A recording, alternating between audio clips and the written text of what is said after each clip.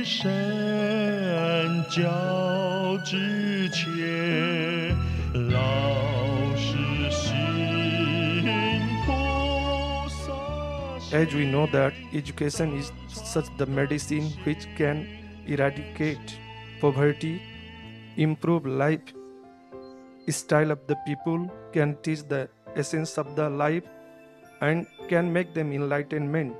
And Chuji Foundation is working in this field. so I am very much thankful to especially Master Sangram. After I arrived in Taiwan, I visited recycling center and other places, so I have been too much impressed.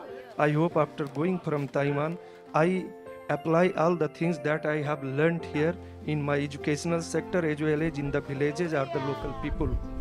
Lumbini Teacher Association conduct and inspire with the other teacher principal principal and teacher to apply Jingxi aphorism in their classroom then they can run their own way i will make hundred or thousand of people like me to do good works and follow the path of buddha 很开心看到了校长们呐、有心 跟师傅有同感，你们要来皈依，你们的皈依啦，就是皈依佛，实际呢就是为佛教、为众生。期待再回馈佛陀故乡。你们回到了尼泊尔，就是要跟慈济的精神汇合在一起，总是把爱落实。只要你们大家愿意在那里落实，师傅年纪也多啊。也期待，期待了，真正的能把这样的底子，底子要赶快铺好，根呐、根要赶快扎好，好，这就是要看现在的瓷器的们，大家发心立愿，现在又有了校长们。也可以，好，大家为佛教这样尼泊尔那样的智慧啦，很正知正信的那种慈悲喜舍，这就是佛法要落实在当地，慈悲喜舍要如何？教导大家用爱啦，共善，爱来共善啦，这总是要精神理念的教育。那都是爱，马是爱无会玩。我一直都说，不是为钱，最重要是为人，为人。但是为人呢，也是要交付。济贫，还要呢，济贫教富。我们总是呢，要如何让贫，我们好好的来帮助他，也要呢，教导，也是要教，让富有的人哦，了解道理，把佛法呢，传给富有的人。请富有的人呐、打开心门，懂得大爱。大爱不是名称，是真正的呢，把心打开。爱要普及人人，普及众生呐、啊，才是真实的爱。所以说，安那有让他，我们要如何？让人人的心开意解，这就是佛陀的教义。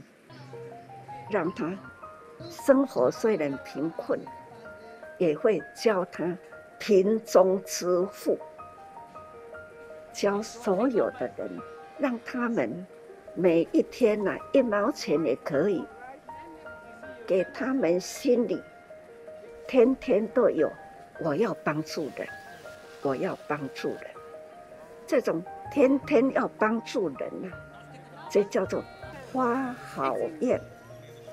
哪怕呢，就一分钱都付不出，也期待呢，他一念爱心，看到老人呐、走路不稳，出一个伸出双手扶住他，这也就是爱。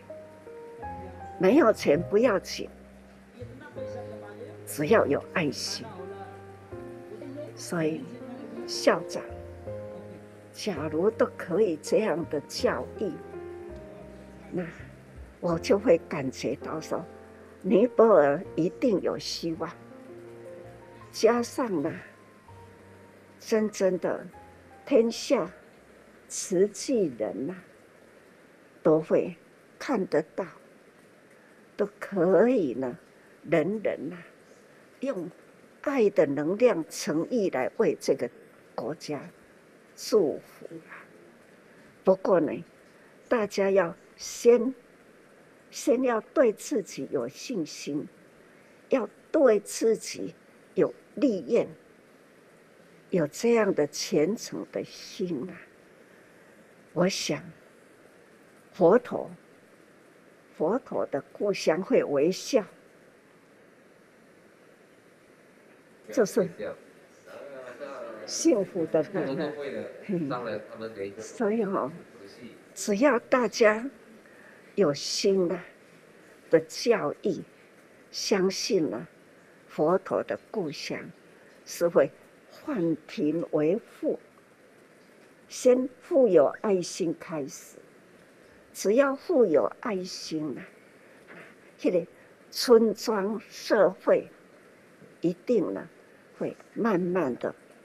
兴隆起来，当然、啊，也需要靠我们现在心嘛维护他们的爱心哈、哦，不要断，期待会更多人来投入。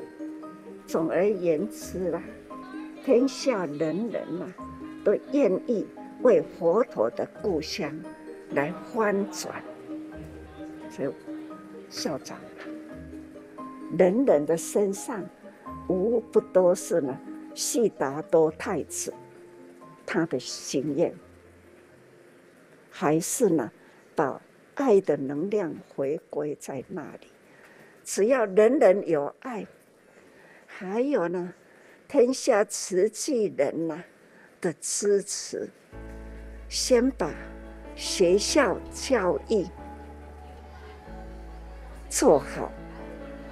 把善种子呢，在当地，只要你们要如何培养孩子，我们都可以帮忙。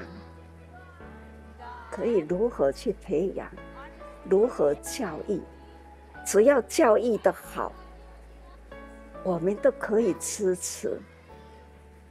这都是呢，是一股力量。只要校长有心。要很正道，心要很正，那有诚诚意的心，大家共同发心呐、啊，相信呢会做得到。手之不动，一百千劫；手之不动，一百千劫。你们刚刚呢，就是大传师。